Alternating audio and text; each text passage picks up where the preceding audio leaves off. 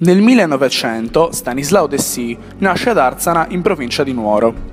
Nel 1906 frequenta la scuola a Cagliari, dove già studiavano il fratello e la sorella maggiori. Stanislao era appassionato di sport, infatti ci dice non c'è branca nello sport che non abbia mai provato, e riuscì a diventare campione sardo di tuffi.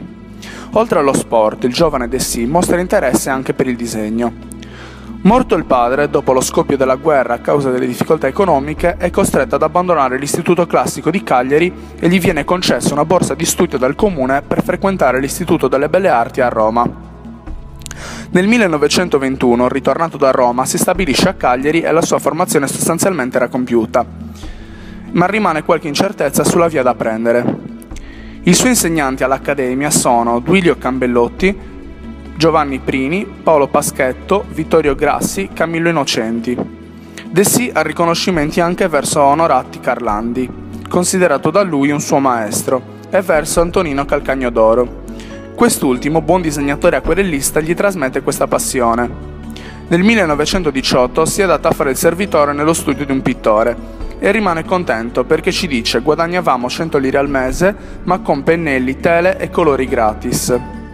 Dipingevamo tutto il giorno e copiavamo i suoi prototipi, poi lui passa e dava un tocco qua e là. Nel 1922 esegue la decorazione di un fondale per il teatro all'aperto del Lido di Cagliari. Dal 1929 al 1939 De si appunta su un repertorio di animali morti, da qua il nome Natura Morta. Sceglie gli animali tra quelli meno capaci di ispirare simpatia. L'autoritratto è uno dei temi dell'autore, a questo vi si è dedicato intensamente per tutta la vita. Solo negli anni 20 ne ha realizzato non meno di 10 tra dipinti, disegni e xilografie. Con le xilografie De Si comincia a farsi conoscere in campo nazionale e internazionale. In delle xilografie rappresenta delle famiglie come la famiglia del pescatore o la famiglia. Nel 1929 Dessì, ispirandosi a Melis Marini, aveva presentato tre composizioni raffiguranti punti panoramici ai margini della città, tipo Cagliari da Monteorpino. Sempre in quegli anni dipinge il porto cagliaritano con velieri, veliero nel porto di Cagliari, veleno nel porto di Cagliari di notte e barche nel porto.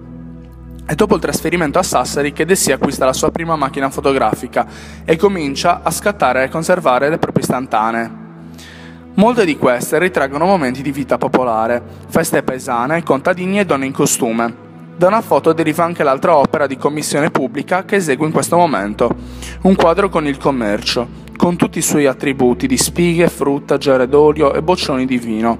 Il commercio, seduto a gambe accavallate su una terrazza prospicente, il mare Nostrum, rimane così un giovanotto appoggiato a un mappamondo e avvolto in un lenzuolo che vorrebbe essere una toga.